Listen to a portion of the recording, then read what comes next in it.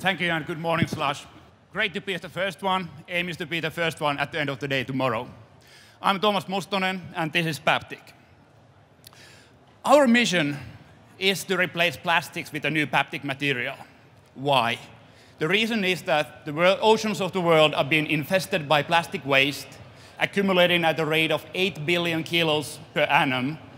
Currently, over 90% of the marine animals, fish, are infested with plastic waste there needs to be, a, there needs to be an alternative for plastics. If the oceans die, we die.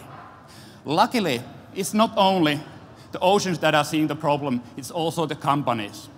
We are lucky to see companies such as Lego announcing that they are investing over a billion Danish kroner in development and implementation of sustainable materials.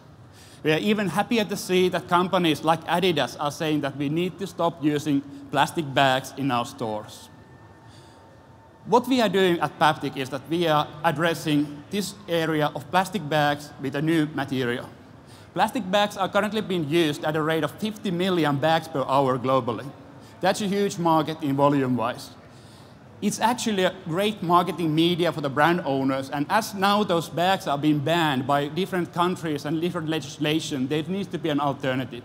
So that's why we want to reinvent the bag. And currently, the current incumbents the competing solutions, they're just not hacking it.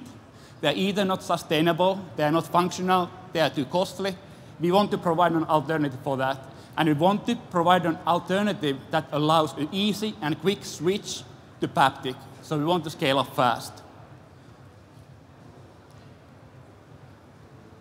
So Paptic, our mission is to replace plastics with a good conscience alternative with the Paptic material. Made of wood, it's recyclable, it's marketable because actually what we are aiming to provide for the consumers is a functional bag that does the job, it's renewable, it's good for the environment, but actually what we are aiming to provide for the consumers is to make their conscience good, make it easy to use a sustainable material that actually feels good, it feels luxurious. What we are providing is eco-luxury for the consumers with the Paptic material.